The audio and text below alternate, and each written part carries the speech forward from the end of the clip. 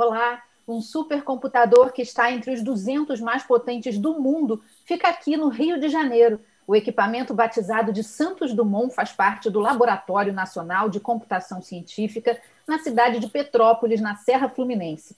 O supercomputador tem uma capacidade gigantesca de processamento, 5 quatrilhões de cálculos por segundo, e está sendo usado por pesquisadores e cientistas em estudos relacionados à pandemia do novo coronavírus.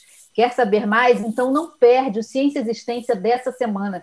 Eu converso com o diretor do Laboratório Nacional de Computação Científica, Fábio Borges de Oliveira, e com Ana Tereza Vasconcelos, coordenadora do Laboratório de Bioinformática do LNCC.